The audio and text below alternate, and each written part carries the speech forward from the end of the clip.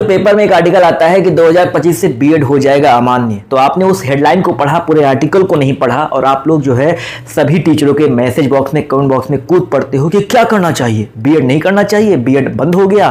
तो बेटा पहले पूरा आर्टिकल पढ़ लिया करो।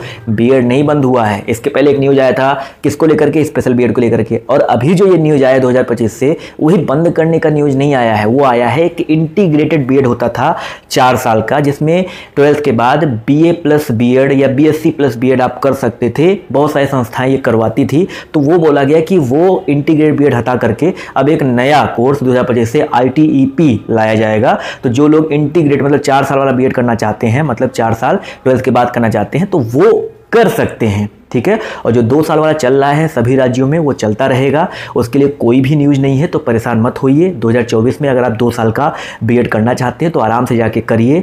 पच्चीस में भी कर सकते हो, छब्बीस में भी कर सकते हो, परेशान मत हो, ठीक है?